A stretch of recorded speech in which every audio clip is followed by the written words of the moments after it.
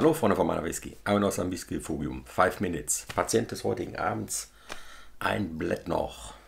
Uns haben im Frühjahr 2023 neue Releases äh, aus der Blatt noch Distillerie erreicht. Und bei den älteren Geschichten, die es da gibt, die Altersangaben haben, ist das immer noch aus der Zeit letztendlich, bevor die Distillerie wieder neu angelaufen ist. Äh, hier haben wir, was früher der Adela war, kam dann ich glaube irgendwie vor zwei oder vor drei Jahren, erstmalig ein 14-Jähriger raus, der nur in Oloroso Sherry-Fässern gereift ist, aber als limitierte Batch. Das heißt also, da sind wirklich nur eine gewisse Anzahl von Flaschen.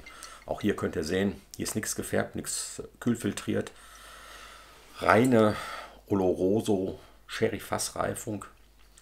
Nicht wie sonst, in Anführungszeichen, bei der Distillerie eben halt auch schon mal gerne der Fall ist, dass ein Finish haben, wenn es denn auch zum Teil ältere sind. dass wir hier von so einer Geschichte reden, irgendwo als übernommen worden ist, 2017, 2018, dass der damalige äh, Head für die, äh, ich sage jetzt mal, Lagerungsgeschichten beim Einkauf entschieden hat, dass man auch eben halt äh, Bourbonfassgeschichten, die man hatte, umschichtet in Weinfässer oder eben halt auch Sherryfässer. Ja. Aber hier ist es so, dass es wirklich eine reine Oloroso Sherryfassreifung ist. Und ja, guck gerade hier. Das ist ja eine Brokate Pulle. Wir haben jetzt hier einen Holzkorken.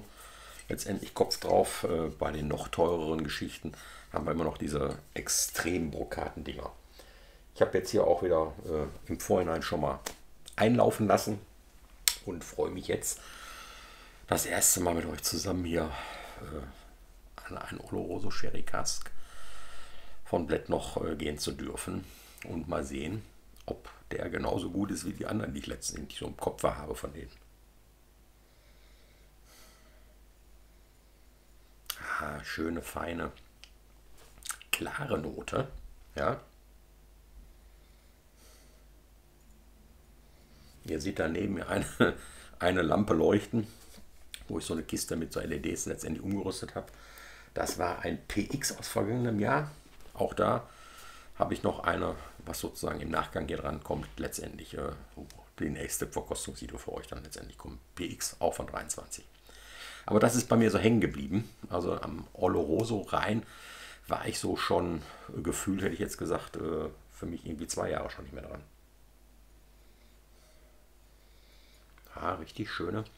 Ich sage ja sonst immer auch schon mal, man ist nicht unbedingt immer bei Oloroso da, aber ich habe jetzt hier so eine feine Kirschnote, also so ein bisschen so eine Geschichte eben halt von so einer Piemont-Kirsche, wenn der ein oder andere Moncherie oder sowas kennt, so, so eine Kirschwasser-Moment irgendwo auch in der Nase. Aber weich, zart. Dann kommen auch ein bisschen holzige Noten, aber wirklich so schwach, äh, eher in so eine Richtung, dass man so Schokolade im Hintergrund irgendwo wahrnimmt. Ja, wie gesagt, ein trockenes Glas, dann ist auch noch eine Schwierigkeit, dass das manchmal gar nicht so aufgeht. Vielleicht muss ich doch einfach mal. Eine Viertelstunde hat man jetzt hier Zeit. Ich mache jetzt nicht viel, ich mache nur mal einen Tropfen rein. einen zweiten. Zwei Tropfen Wasser. Einfach, um dem die Chance zu geben,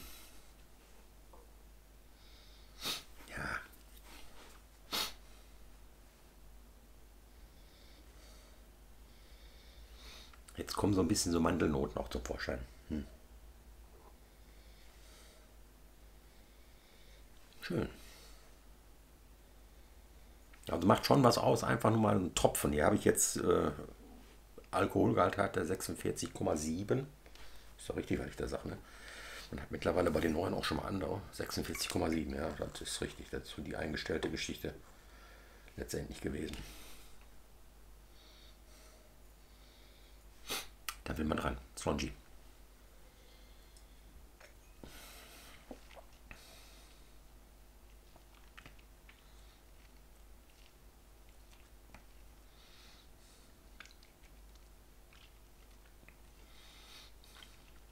Hm? Da kommt so eine Veränderung wirklich im Mund. Der ist am Anfang bisschen kühl, nicht beißend. Frische Noten brauchen jetzt immer mehr. ah, toll. Wo ich vorhin gesagt habe, ich habe den Tropfen Wasser reingetan, um so ein bisschen eben halt nicht nur so diese hellen Kirsch-Wasserfruchtnoten zu haben. Ein bisschen Schokolade war immer da. Jetzt hat man diese Mandelnoten und das ist das, was echt so umschwingt. Man hat wirklich so schön, ja, erinnert so ein bisschen auch an Marzipan, was ich jetzt so im Munde habe. So. Also richtig toller Switch. Wärmend, mundfüllend jetzt noch mehr, was man so beim Eispeicheln gar nicht so das Gefühl hatte. Das heißt, am Anfang, ja, ich habe es irgendwo überall, bis dann irgendwo so eine, die Engländer sagen mal so eine Transition, also eine Veränderung stattgefunden hat, ne? also auf eine nächste Ebene, wo dann auch Druck sich aufbaut. Schön, und ich rede jetzt hier mit euch. Es wird immer noch wärmender, schokoladige, nussige Noten sind das, äh, teilweise aber eben halt auch Mandelnoten, so ein bisschen. Ich habe sonst immer auch mit Mandeln irgendwie so ein bisschen so was Bitteres. Das ist jetzt hier gar nicht. Würde ich gerne reinreden, ist nicht.